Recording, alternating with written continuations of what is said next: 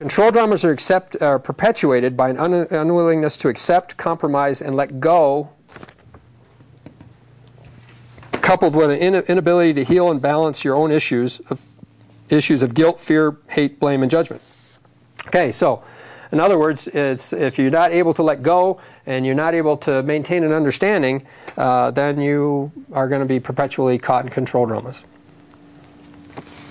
Emotions attached to words and actions of others. We talked about that. Anytime you have an emotional attachment to something that somebody's trying to attack you on or anything, obviously it shows an area inside yourself that has to be uh, looked at for healing, but that will get you caught in a control drama. Defensiveness, no, reactive, uh, need to be uh, prove right and prove another person wrong. I mean, this is probably the most common way that people get caught in control dramas. Somebody says, oh, I'm right, this is why, and, and somebody has to go, no, you're not right because this is why. I mean, if you have a self-confidence in who you are and what you believe in, what do you care what that other person thinks? I mean, sure, they may be involved in a business relationship, you may be involved in a personal relationship, but you still uh, shouldn't go to their level. If, you, if they're going to demanifest, you got to let them demanifest. And that's where the fear factor comes in, because as you're moving this direction, you're using this release, and sometimes that means things have to be taken out of your life, and people aren't often comfortable with that. They might, you might have to get a different job. If your job is all of a sudden you find out your job's all over here and you're trying to go this way, guess what? You may have to get a different job sometime. If you find the person you're in a relationship is over here all the time and you're going this way, you may have to choose. Okay, and again, this is a choice. You, everybody has a choice to move this way as rapidly as they want based on how much of this life they can let go of. And that is the biggest challenge to this growth. It's not the tools. It's not understanding how to use them. It's actually making the transition. And again, we all know that making this transition somewhere in here, it could get a little more confusing until you master these techniques. If you have to say anything to break a control drama, I've, I, you know, I thought about this a lot. and I may have even used this statement in my own, I don't remember. Um, if you had to say something to break a control drama, you know, you just couldn't find a way to get out of it. You couldn't find a way to break it. Uh, the only words that I've ever come up with is I hear and understand you.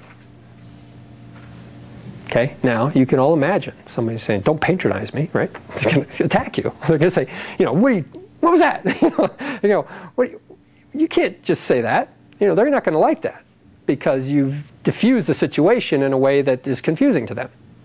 I hear and understand you is respectful. It honors the fact that you're in a conversation with them. It doesn't mean you agree with them. Okay, and that's not acceptable to most people that use control dramas. They have to be right. They have to win. They can't leave on a note like that. So that is one way, and, and you'll find out that you know somebody might raise the control drama when you do that. You know, they're not going to accept that as an answer. You do not need to learn how to control yourself or your experiences. Just learn how to accept responsibility for yourself and your experiences and learn how to manage your energy. What you attempt to control will always end up controlling your time and energy. This is a paradox. How many parents do you know that try to control their children and ultimately you look at their life and you're like, your child controls you. Okay? So what you try to control ends up controlling you. That includes money, relationships, everything. Again, if you want to move out and into a more positive life and positive manifestation, you've got to understand how you're interacting with everything in your life. If you have fear of it, you're going to try to control it. Okay? If you have anxiety over it, you're going to try to control it. Anxiety is not centered. If you release something, think about this. What you put out comes back to you tenfold.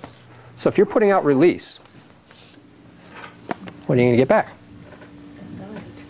Are you going to get people releasing with you and giving you release, giving you more freedom?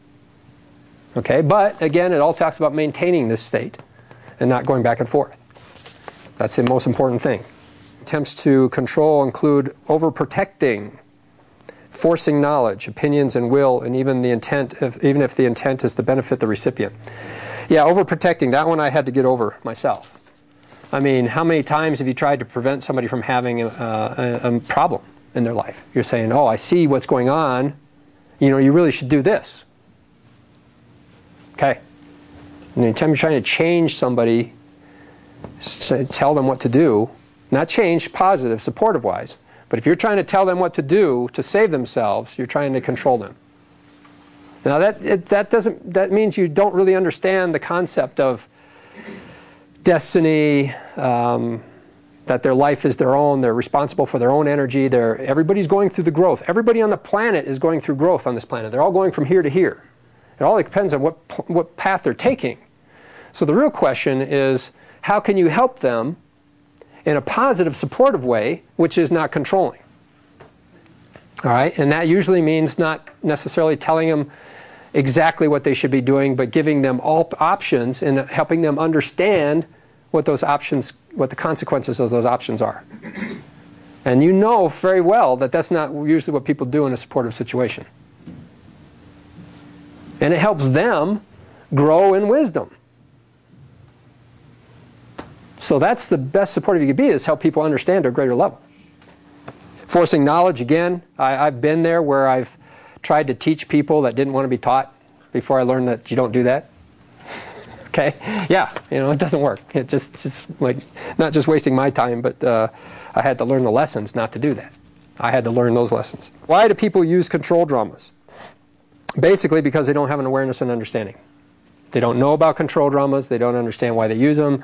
Uh, they don't understand that it pulls them negative. I mean, all these factors. So they don't know the importance is the why.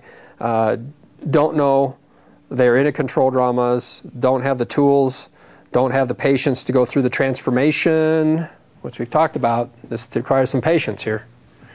And uh, don't have the trust in life without control dramas. They haven't learned to trust this path, which is another challenge. And don't want to apply themselves. They're not trying to change.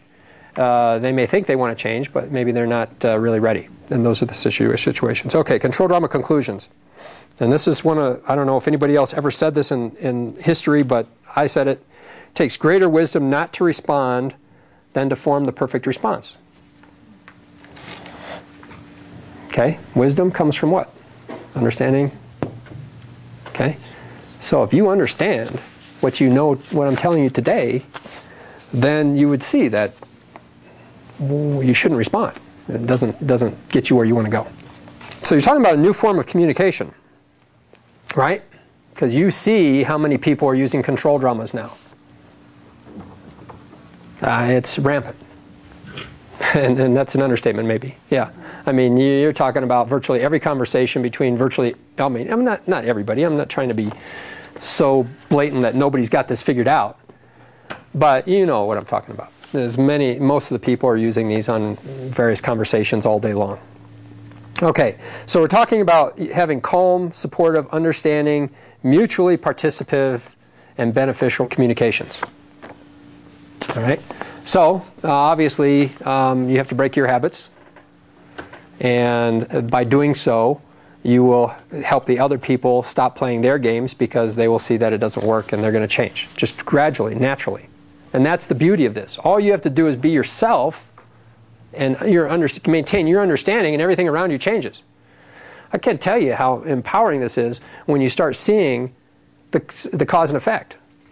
I mean, you, you have people that you've known your whole life, and you say, you know, God, these people use control dramas. You break their control dramas a couple times, and all of a sudden they quit using them, and you're like, whoa, that's cool. You're like, okay, so now you've helped just help them move more positive. How cool is that? That's the ripple effect.